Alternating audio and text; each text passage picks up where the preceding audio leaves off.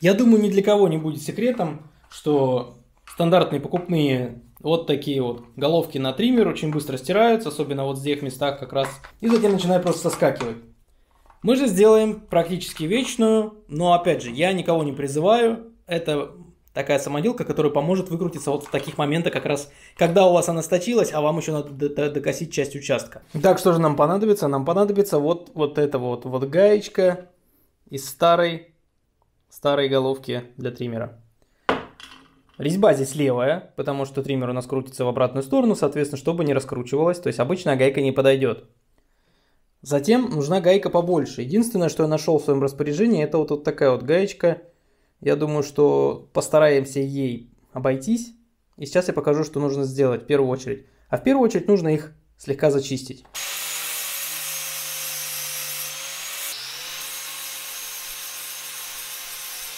Теперь после того, как поверхности зачищены, пришло время нам сварить две гаечки вот таким вот образом. Мой лучший шов под названием «Поднасрал». Сейчас все зачистим болгарочкой и приведем более-менее в лучший вид. Но нужно было прям обильно-обильно проварить. Ну что, я точно могу заявить, что это прям вообще. Вы только посмотрите на этот шов. Это же просто произведение искусства. Ладно, короче, хватит угорать. Держится и держится. Я думаю, что такие же сварщики, как и я, будут в комментариях. Сейчас нам нужно пойти просверлить два отверстия друг напротив дружки. Перенесемся к сверлильнику. Если ты смотрел видео до этого момента, поставь плюс комментарий и напиши, какие у меня хреновые швы. Мне очень это интересно знать. Ну, либо минус поставь. А мы продолжаем. Я для теста возьму вот такую самую толстую леску. По-моему, это троечка. И она как раз идеально входит в наше это отверстие. Очень плотно и хорошо. Вот такая вот тема.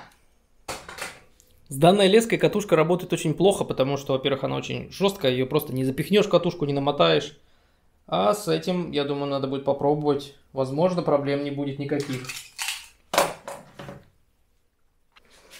Итак, я ее немного вытащил с помощью отвертки. И закручивается она до самого конца, тем, не, тем самым прижимая леску.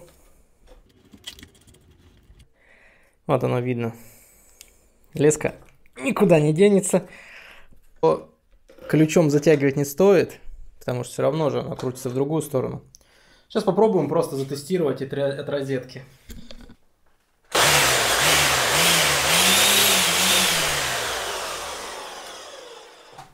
Как можно увидеть, петля никуда не делась, она также осталась.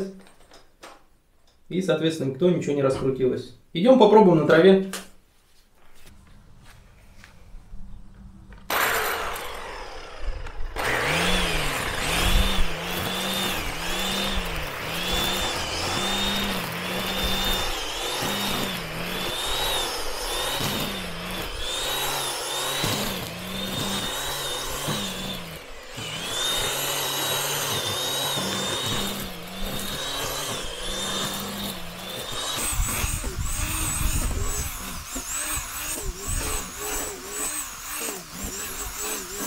Безусловно, эта идея не на грани мастерства и новаторства. Здесь, допустим, леска, она начинает он перекручиваться, но тем не менее, за неимением лески, к примеру, вы приехали на дачу, скосили что-то, леска у вас кончилась, и остался маленький клочок, вот эта штука поможет. Особенно, если осталась вот такая толстенная леска, которую, я думаю, есть у многих, которые покупали по ошибке, а потом она валяется, потому что пользоваться в барабане ей невозможно. Ну, либо же использовать обычный толстый многожильный кабель, его также можно вывернуть, также его можно, главное не снимать с него оплетку, а, также его можно, соответственно, поджать и докосить какие-то там метры, вполне вариант.